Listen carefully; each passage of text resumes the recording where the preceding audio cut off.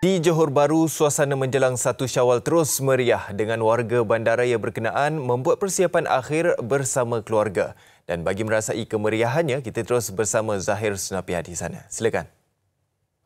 Ini selain daripada uh, membeli belah pakaian baru dan sebagainya adalah uh, kuih muih. Yang turut dijual di sini adalah kuih muih tradisional dan kuih, kuih muih model yang uh, mendapat perhatian bukan saja warga di Johor Bahru ini malah daripada Johor Bahru uh, malah daripada Kuala Lumpur minta maaf saya daripada Kuala Lumpur dan juga Singapura.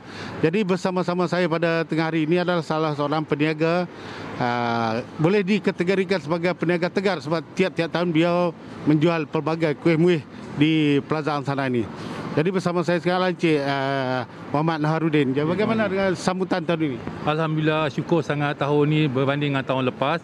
Di mana bila kerajaan buka uh, border untuk Singapura lepas 1 Mei tu saya tengok orang punya ramai termasuk Singapura terlalu ramai. Dan juga saya tengok rakyat-rakyat yang kebanyakan daripada Kuala Lumpur pun ramai datang.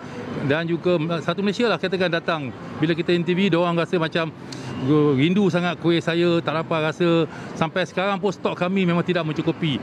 Itu yang kami hari-hari bertungkul lumus memastikan produk kami sentiasa ada apa kuih muih yang paling mencuri tumpuan di di Angsana ni? Kami ada beberapa jenis kuih tradisional, moden dan yang kuih tradisional lah. Satunya kalau kuih moden kita ada macam red cherry memang famous, uh, pistachio, uh, Nutella cookies uh, dan juga kuih kuih tradisional seperti suji, badam, lagi ada kuih tart, uh, lagi ada kuih samprit, kuih berbagai lagi lah. Juga popia popia gulung kami popular kek kukuh kami popular. Dan tak pernah tangan lah kami sampai sekarang memang masih membuat lagi lah. Okay, terima kasih banyak Cik Nasaruddin. Jadi Asrul itu dia perkembangan di Johor Bahru. Uh, saya bagi pihak kru di Johor Bahru juga mengucapkan selamat Hari Raya Maaf Hari Fitri. Kembali pada Asrul di sebentar. Silakan